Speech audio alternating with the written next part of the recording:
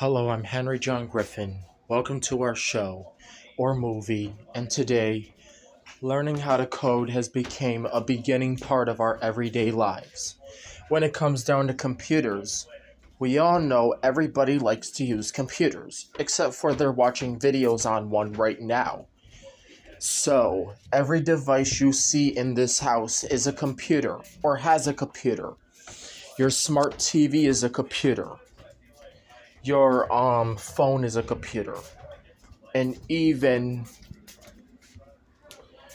even though we know however let's say we now make a comparison and we compare the brain to the biggest supercomputer we say that the brain is like a computer in the f- way that it processes information and that both a brain and a computer can input and output, and both a brain and a computer can get a virus and all that stuff. So, we will now show the kids. Now, we have been the first ones trying to work a computer. Especially, it's me. I'm the operator, and I'm working a computer called a phone. Also, the more simple computer that I'm trying to work is also people trying to operate these computers. When you notice the similarities between both a brain and a computer, they have they have many similarities and also they're very similar, but they can be different. I mean, one is organic and another I mean, one is organic and one is mechanical. So, it's far more honest, to be honest, that um, it's not exactly alike, but it's almost it's almost the same.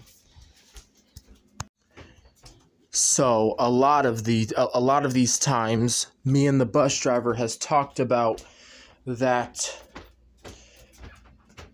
the brain can be compared to the computer because it processes information and the and and, he said that it could be compared to a computer in the sense that it processes information. But however, here's another word. Okay, so here's the word that I really know is going to make me upset. Okay, it's called the word not. Remember how I said I don't like not? And he still uses it because I let him get away with it. I let him get away with using the word not but it is still not good for him to use the word not because the word not might lead to a behavior. If that, we shouldn't use the word not because it will lead to a behavior. And that's why we shouldn't ask setup questions because that will also lead to a behavior as well. That's why we're most perfect by gaining our exposure, being safe if we want to go on a community outing and having a good day and trying to behave ourselves and not give people a hard time or give them problems, especially if you're thinking about a computer. Now, there are far more other things in life besides computers.